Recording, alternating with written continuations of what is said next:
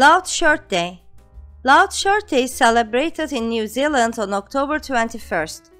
It's an unofficial holiday dedicated to raising awareness across New Zealand about children with hearing disabilities and impairment.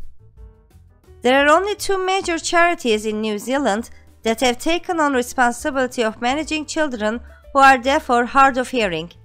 The Hearing House and Southern Cochlear Implant Program. Loud Shirt Day in New Zealand is the annual fundraising event from which these charities are raising the much needed funds to continue to contribute to the management and rehabilitation of children who are deaf. The history of hearing difficulty and hearing loss probably dates back to thousands of years for as long as humans have existed. In modern or relatively modern history, Deafness is centered on sign language and relationships among one another.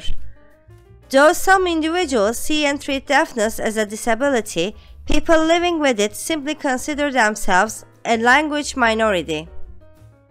Throughout the years, deaf people have been able to lead normal lives and function just as well as people who aren't deaf, albeit with some extra work and adaptability quite a number of achievements that have been credited to people who are deaf, the most famous being Beethoven and Edison, who both made positively impactful contributions to modern human culture.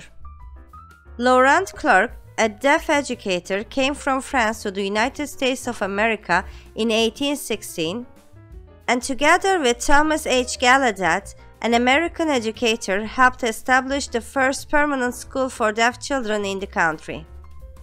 The community of deaf people at the time was so recognized that there was a debate in the late 1850s about whether a separate deaf state should exist in the West.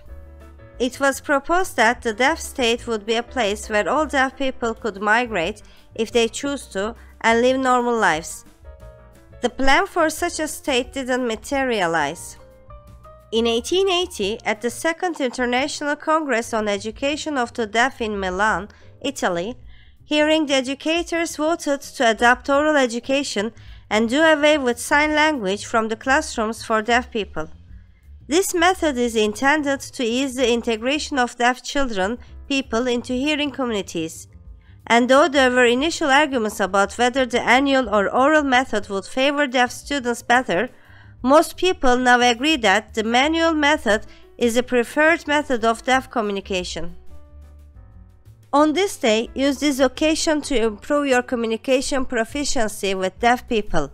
Learn sign language. To celebrate the day, wear a shirt with bright, loud colors and show your support for Loud Shirt Day. It's super easy, all you need to start is a loud shirt.